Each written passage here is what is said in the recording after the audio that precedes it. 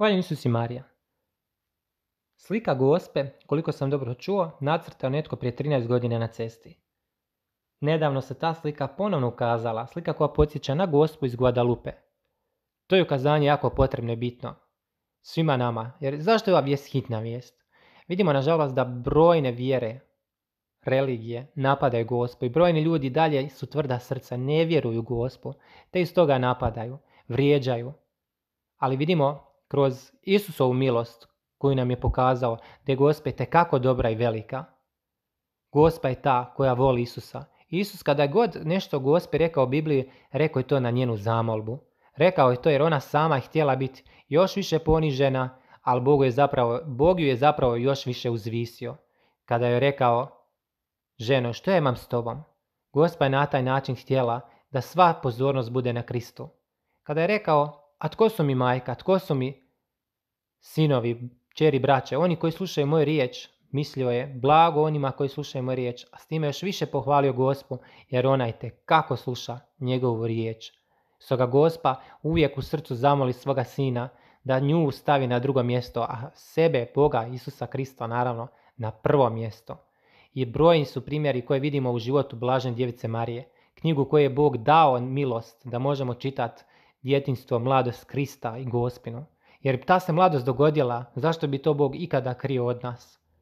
Stoga, bilo nekad vatikansko priznato ili nepriznato je, a ovo jest priznato. Ovo jest jedna od knjiga koju bi trebalo čitati diljem svijeta, ali nažalost zli je uništio takvu vrstu znanja. Ne želi da znamo jer to je toliko korisno za našu dušu. Knjiga, na primjer, nasljeđuju Krista, kojim i kako možete vidjeti predivna stajališta Krista, koji nas toliko ljubi, želi k sebi. Evo, te knjige su toliko moćne i snažne, te knjige bi trebali diljem svijeta objavljiva čitati, ali ne, mnogi nažalost ne znaju da postoje. To nisu naše knjige koje smo mi pisali, to su knjige koje možete naći u Verbumu ili na drugim mjestima. Čitajte, hranite se duhovno, jer puno je smeća na TV-u, puno je smeća okolo nas, novine, medije, časopisi. Nažalost, sve izgleda kao da se međusobno ljudi samo bore u sukobima, ali postoji ljubav.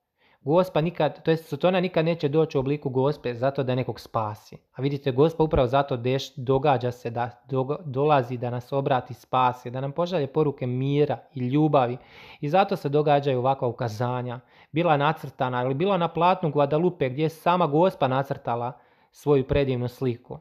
Možemo reći Bog kroz nju, Juan Diego, daje sliku, primjer, jedno od najvećih svih vremena, koja dan danas na tkanini stoji, nad koje ne bi smjela stojati, jer bi se već trebalo odavno izlizati i uništiti ta slika.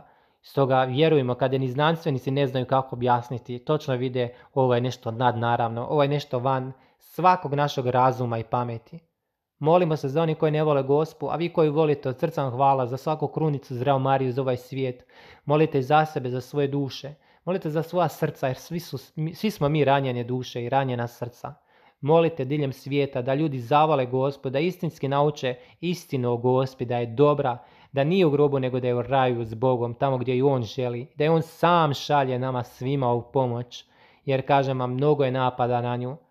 Zato nam je žao što Gospa toliko mora trpiti, ali evo kao i Krist što je sve, što je sve i što sve danas trpi. Molite za abortus jer događaju se često, jako često. Niste ni svjesni, sve se vrti oko novca i čovjek se s novcem uništava sebe i svoju dušu.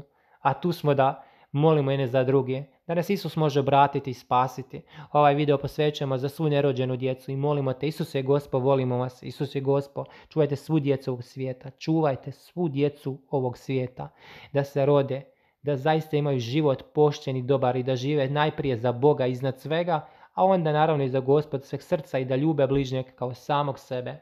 I unaprijed zahvaljujem svima vama koji pošalju ovaj video, podijele ga dalje, koji ga lajkaju, komentiraju. Makar napišite živjeli Isus i Gospa.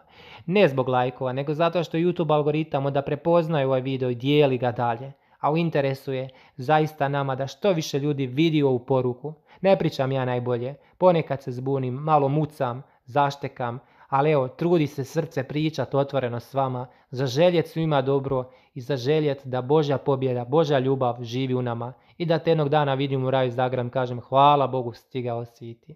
Hajdemo onda što više duša međusobno unijeti u raj, jer tko će ako ne mi?